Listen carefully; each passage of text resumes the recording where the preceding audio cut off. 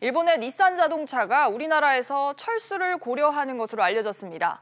닛산의 글로벌 구조조정에다가 일본 제품 불매 운동으로 인한 국내 판매 감소 때문인 것으로 보이는데요. 취재 기자 연결하겠습니다. 윤지혜 기자. 네, 윤지혜입니다. 네, 닛산의 한국 시장 철수 가능성이 제기되고 있어요. 네, 파이낸셜 타임스 등 외신은 닛산 자동차가 한국 내 판매 중단을 고려하고 있다고 보도했습니다. 외신들은 최근 한일 무역 갈등으로 한국에서 일본차에 대한 불매 운동이 벌어지면서 닛산이 큰 타격을 입었다고 전했는데요.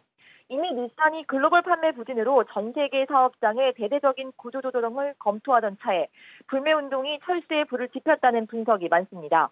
한국 닛산은 관련 보도에 대해서 확인해 줄 수 없다고 답했습니다. 네, 실제로 수치적으로 확인을 해보면 뭐 닛산 차량의 판매는 얼마나 줄었습니까?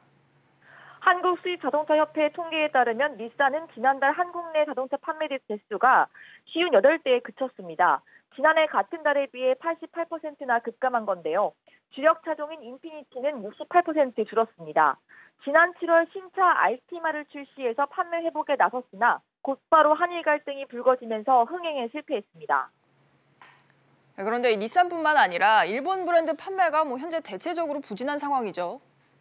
맞습니다. 도요타와 혼다도 두 달 전과 비교하면 판매량이 절반 수준으로 줄면서 일본 차의 국내 시장 점유율은 지난 2월 20.4%에서 지난달 7.7%로 떨어졌는데요. 사정이 이렇다 보니 닛산의 한국 철수와 불매운동 장기화가 다른 일본 브랜드에도 영향을 미칠 것이라는 관측이 나오고 있습니다.